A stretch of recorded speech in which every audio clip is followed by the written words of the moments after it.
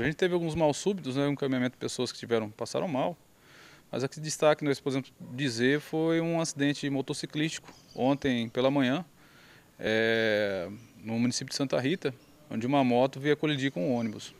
Como foi essa ocorrência? Pelo que foi informado, o ônibus fazia uma conversão e a moto acabou colidindo com a parte é, de baixo do ônibus, né? Ela ficou presa é, a esse ônibus. É, felizmente o, o, condutor não teve grandes, grandes é, problemas, grandes traumas. É, teve apresentou apenas escoriações. O mesmo recusou-se a ser atendido e foi feita lavrada a ocorrência e a guarnição retornou à base. Esse trabalho de desinfecção que está sendo feito hoje aqui no quartel?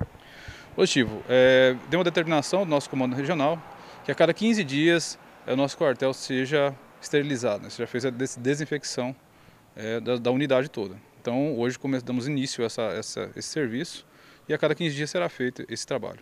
Por que esse trabalho? Tipo, como é um, um, local de circulação de pessoas, inevitavelmente, né, nós temos aqui alguns militares para trocar de serviço, é, tem que receber o público ali na, na nossa recepção. É, existe essa circulação grande de pessoas, então, para evitar o contágio do coronavírus, nós estamos fazendo esse trabalho. Que material que é utilizado para se fazer esse trabalho? A desinfecção ela é feita com hipoclorito de sódio. Tá? É um, um produto que já é usado em hospitais, é usado em ambientes para esterilização. Então, esse é o recomendado pela OMS. A unidade do Corpo de Bombeiros de Alto Araguaia também realiza esse trabalho em outros órgãos, não é isso? Positivo. Sempre que solicitado, o Corpo de Bombeiros faz a esterilização, essa desinfecção, é, nos órgãos que foram que solicitaram aqui. Já fizemos no fórum, delegacias, enfim, em vários locais. É, qualquer necessidade, a comunidade pode entrar em contato? Positivo.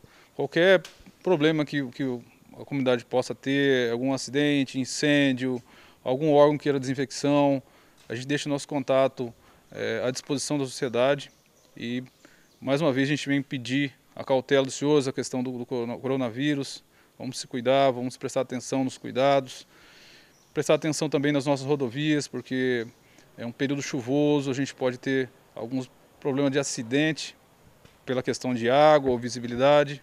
Então, qualquer problema que nós tivermos nesse sentido, pode entrar em contato com o Corpo de Bombeiros.